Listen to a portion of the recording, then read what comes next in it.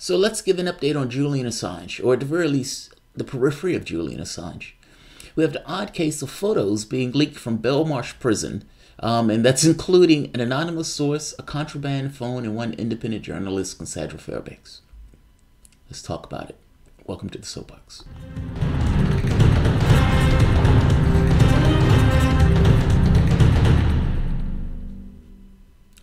My name is Jamarl Thomas. This is the Progressive Soapbox. And yes, indeed, everything that I just said leading up to this is absolutely true. Um, by the way, guys, if you enjoy this content and you find yourself coming back to this channel often, please consider supporting this content through PayPal or Patreon. There is another ad apocalypse that is taking place, and independent channels are taking the hit.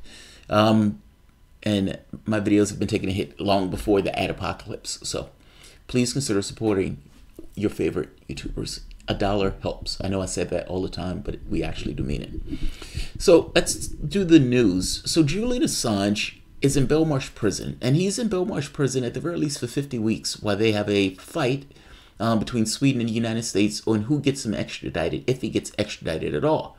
I mean, there's a lot of turmoil going on in British politics. We have no idea what takes place in British politics. If there's a Jeremy Corbyn in office, I strongly suspect he doesn't get extradited. That said, the last shoe to drop was yesterday. So, how do I, how do I say this? So, Cassandra Fairbanks is an independent journalist. Now, she puts out an article saying, We've contacted somebody who has a contraband phone inside Belmarsh prison, and they have photos of Julian Assange that they've been pushing with a fundraiser. Now, she said she wanted to get their side of the story for the reason why they were pushing the fundraiser because it looked as if that they were trying to extort WikiLeaks for money for information. So she ended up having a conversation with the guy. Now, again, this is an inmate, anonymous, with a contraband phone inside the prison. She asked the person whether he was an inmate or whether he was a guard. He said he was indeed an inmate. He said he was not trying to extort money from WikiLeaks or anybody else.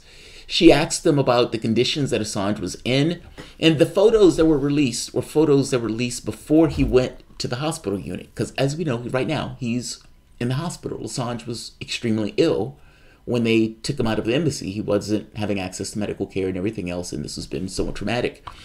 Um, the UN rapporteur comes out and says he was experiencing signs of psychological torture.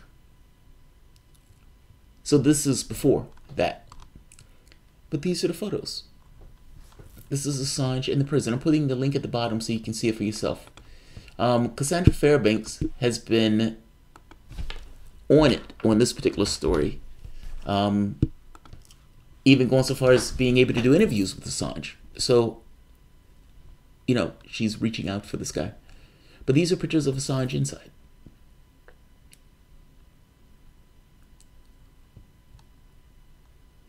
Again, I'm going to put it at the bottom so you can read it and see it for yourself. Um, look, it just snapshot it. He says Assange's what Assange or he says his goal in this is to not extort WikiLeaks. He says, you know, many of the people who look at Assange as being this person who releases information in, in the prison itself and see him not as somebody, you know, to vilify per se, but see him as somewhat of a hero in this case. The guards themselves, he said, was spreading information, but he doesn't think they were doing it maliciously, um, meaning this kind of rape case stuff, not maliciously to get him harmed per se, but he believes that they were doing it insofar as they didn't necessarily, they weren't abreast of everything associated with it, just kind of people doing their jobs. Um, beyond that point, you know, just go to parts of the story. She says, uh, when asked if they were attempting to sell the photos, they may claim that the Sun had offered them $10,000, but they declined um, because they're not interested in cash. They just want to tell uh, Julian Assange's story properly.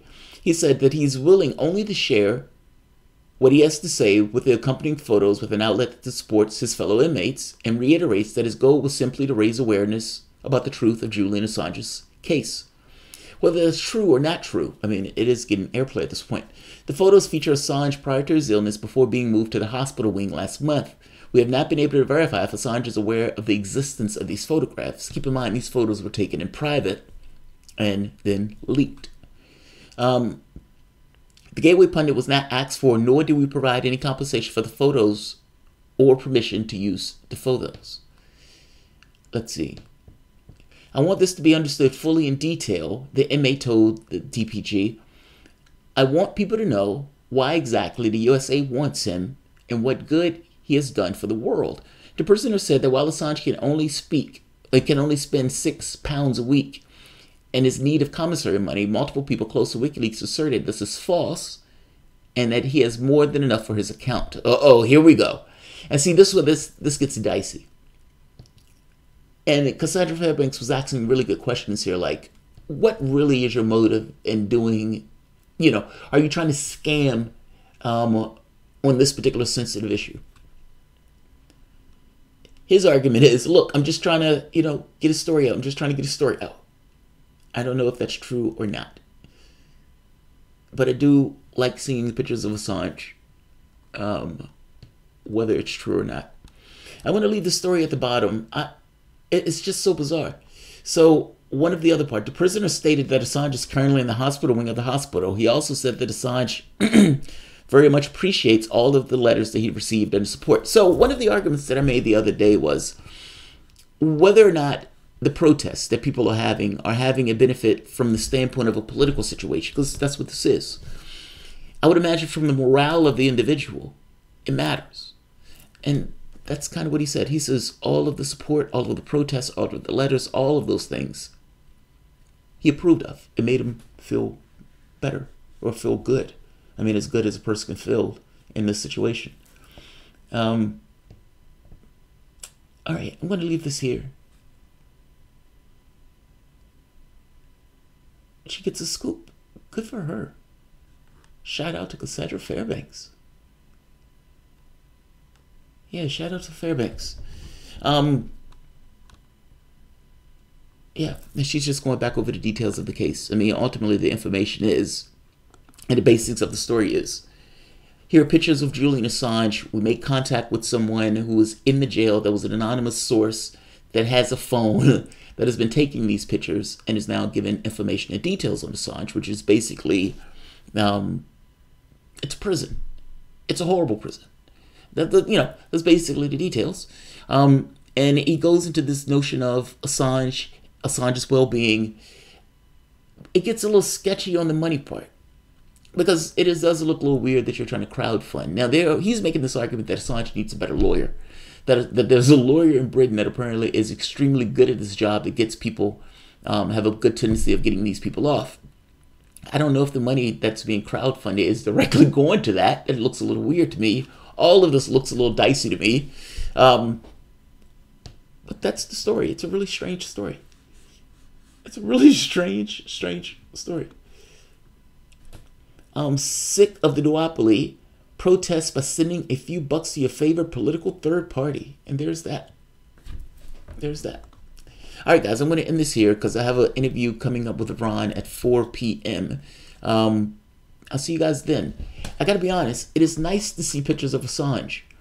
Um, it gets a little weird when these guys are crowdfunding around Assange, um, but it is nice to see pictures of Assange. And again, WikiLeaks is making the point that Assange has the money that, that he needs in Belmarsh prison. You don't need to send money to some kind of crowdfunding thing for something like that to take place. And I got to be honest, after exposing that there was an anonymous source in Belmarsh prison with a phone, I strongly suspect that that is going to get shaken down pretty soon. Um, but nevertheless, pictures of Assange, if nothing else. All right, guys, I'll end this here, and I'll see you guys in about 15 minutes. Thanks all. And and Amaxa, thank you. I always appreciate your assistance. Bye bye.